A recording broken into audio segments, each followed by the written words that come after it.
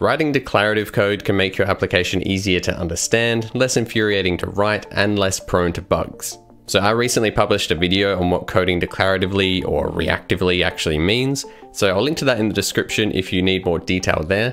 But one of the key aspects is that we generally want state in our application to work like this. If we have some state B that is derived from some other state A, when A is updated, we want B to react to that by also updating. So RxJS can help us do this, but so can SolidJS's signals and Svelte stores and reactive declarations. And at a basic level, creating derived state with all three of these options looks pretty similar. But then RxJS has all of this nonsense. There's over 100 operators that help compose and modify streams with a variety of wacky and confusing names. So it's very common to hear that RxJS is overly complex and only really required if you're dealing with things like WebSockets, high frequency trading apps, or Daedric princes trying to gain influence in Tamriel. So in this video, I intend to make the point that the necessity for RxJS becomes apparent in much more mundane everyday situations if you're trying to create a declarative codebase. So one such common situation is the humble search box.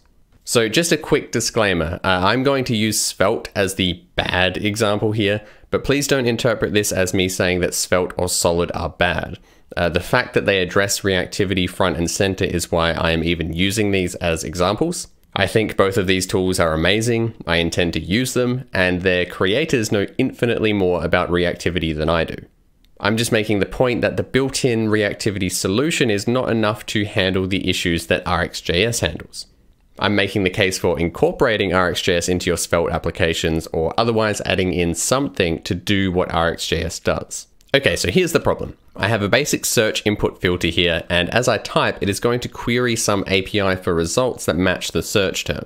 So if I type J, I'm going to get all of these results, then JO will give me just the ones that match that term, and so on. So the API will respond with the results with a random delay of anywhere between 50 milliseconds and 2 seconds. And that is the problem.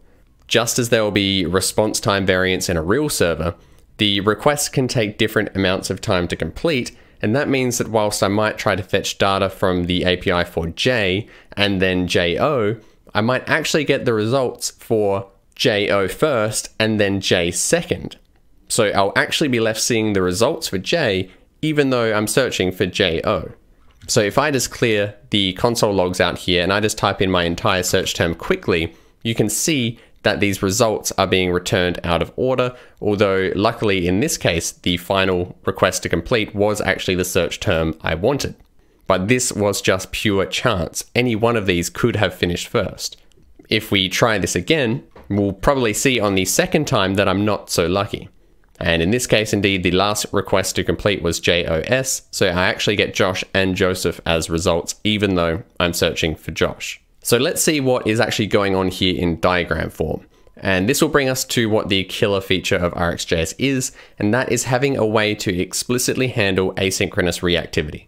So to put it simply, we can think of synchronous reactivity as being where if B depends on A, when A updates, B can instantly be updated. Uh, perhaps B can be calculated by performing a synchronous operation like filtering an array. Asynchronous reactivity occurs where when A updates, some amount of time will have to pass before B can be updated.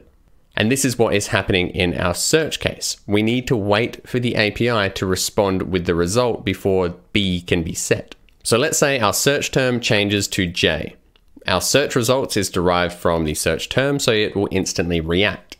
It will take that search term and launch an asynchronous request to fetch the data. And once it gets that data, the search results will be set. So this works fine if everything is settled before we enter in our next keystroke, but let's say that the fetch has not finished yet and search term changes again to JO.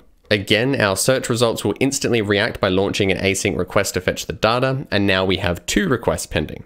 So what will that value of our search results be? Both of these requests will update the value of search results when they resolve, so whichever request finishes second will win. So we have a race condition, one of the most infamous bug causes. So whether our application works or not is now left up to luck. So now let's look at the RxJS implementation in Svelte. It looks quite similar, I am just using a subject instead of Svelte's own stores. So the key difference here is that I'm using one of those 100 or so RxJS operators. In this case, I'm using a switch map.